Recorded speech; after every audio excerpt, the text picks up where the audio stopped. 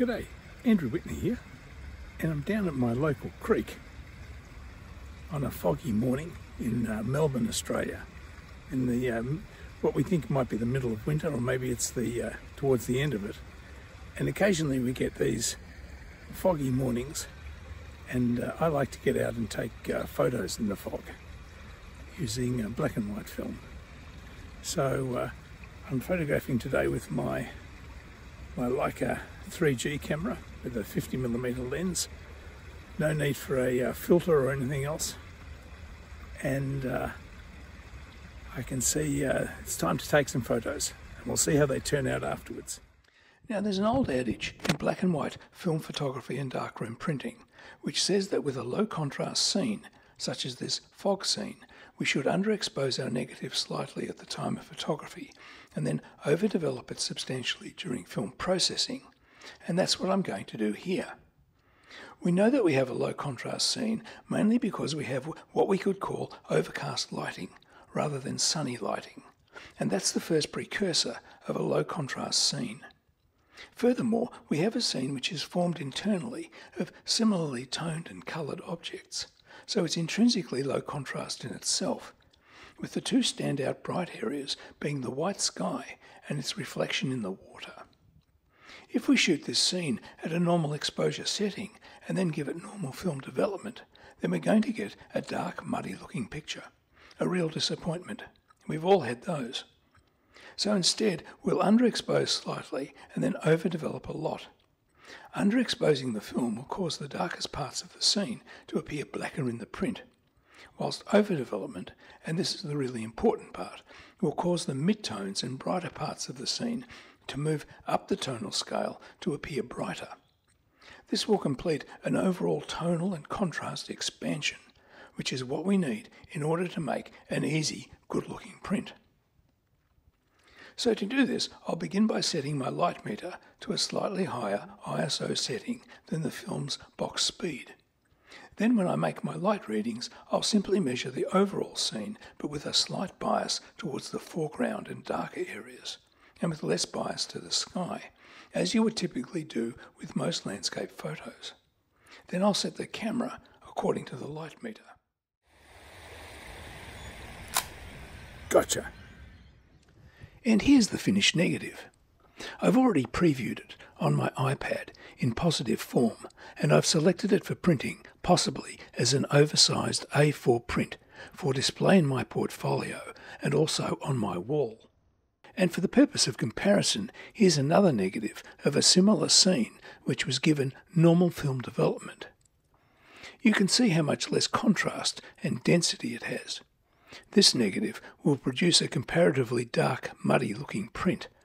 In black and white film and darkroom print photography, a good negative is the first step in getting a good, easy print. And here's a small whole frame 6 by 9 centimetre test print, thus about the size of a credit card. Due to the extra film development, I'm getting good print contrast with just a low contrast grade 1.5 printing filter. And the picture isn't printing dark or muddy. I like this exposure level, so now I'll compute the exposure time needed to make a matching larger print that's a bit bigger than A4. Processing the larger final enlargement now. And here's the final A4 print which will dry down to look fractionally darker and thus match more closely the appearance of its smaller test print. Now, speaking of prints, and given that we're printing in a darkroom, we should consider which finish of paper we might like to use to print our fog photos on.